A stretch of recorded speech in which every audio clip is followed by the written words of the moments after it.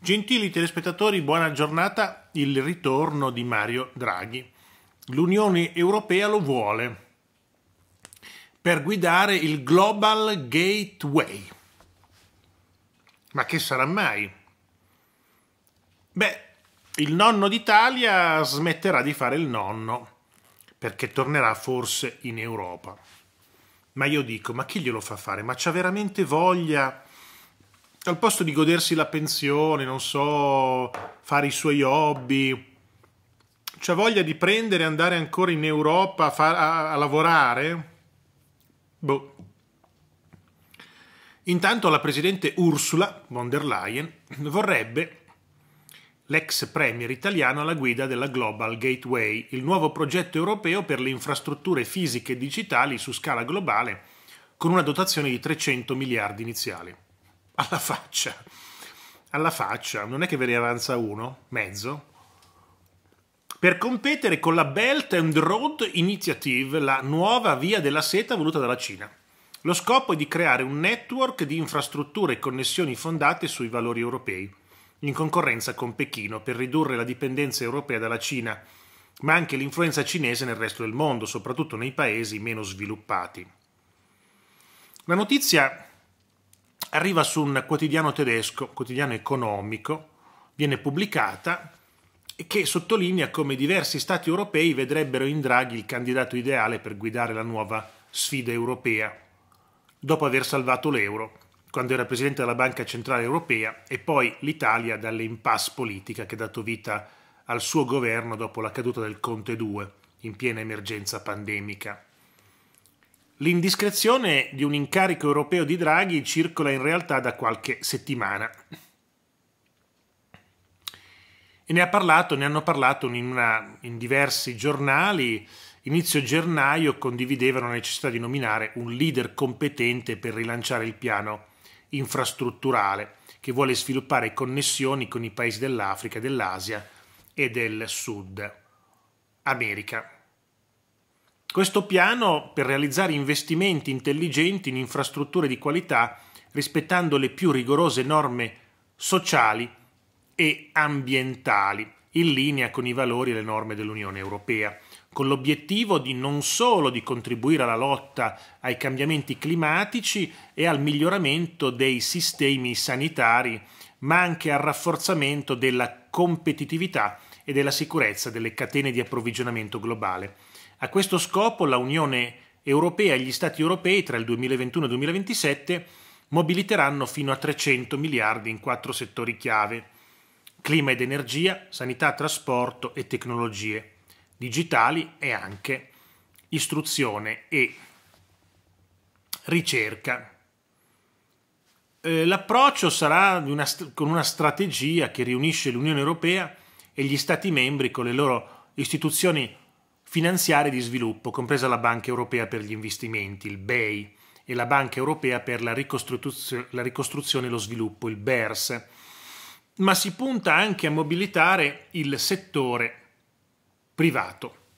L'ultimo investimento di questa Global Gateway risale al 27 gennaio, quando l'Unione Europea ha siglato una partnership con il Sudafrica per investire oltre 280 milioni di euro in sussidi, inclusi 87, quasi 88 milioni dal budget europeo per finanziare la ripresa verde e giusta lanciata dal Sudafrica. Chi lo sa se Draghi avrà voglia di fare una roba del genere? Forse si annoia a casa, non ha hobby, non, ha, non, ha, non, ha, non, vuole coltivare l'orto, non vuole costruire un tavolino di legno, non ha voglia di star lì a guardare la televisione, andare a fare la spesa, la passeggiatina in centro. Ci sono persone che preferiscono continuare a lavorare piuttosto che stare a casa, eh, insomma. Poi se un lavoro ti piace, allora non lo consideri neanche un lavoro. Mentre quando stai sperando la pensione più di ogni altra cosa vuol dire che il lavoro ti risulta veramente, ma veramente pesante.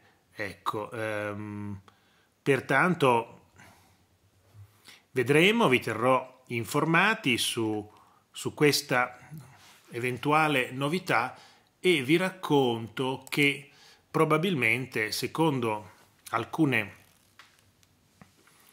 alcune indiscrezioni, i ventenni oggi dovranno lavorare più di 46 anni per arrivare alla pensione. Eh sì, il sogno della pensione ormai ormai ci stanno dicendo che dovremmo lavorare probabilmente fino a 80 anni, come dire, continua a lavorare per sempre perché eh, finché, starai al lavoro finché sei vivo praticamente, questo è.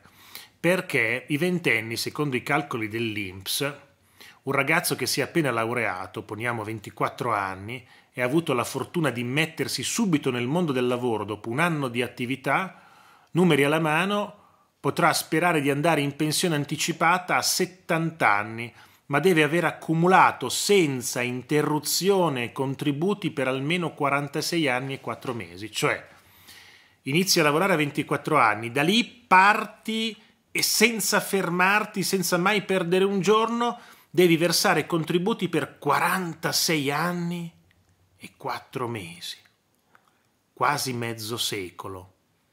Per poi arrivare a 70 anni che ti danno la pensione da fame, che non riesci neanche a comprare il latte al supermercato.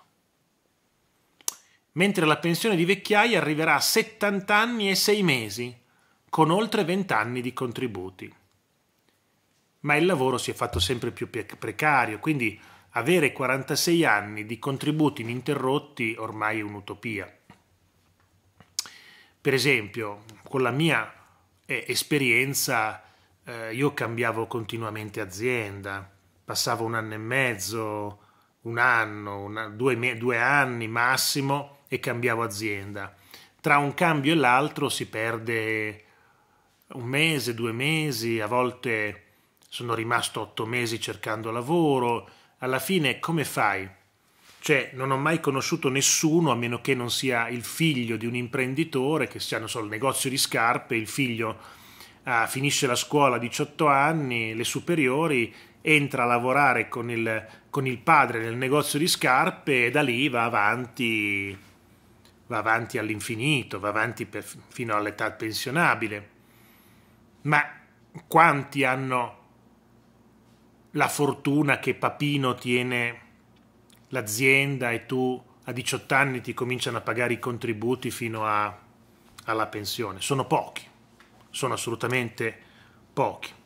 Grazie a tutti e buon proseguimento di giornata.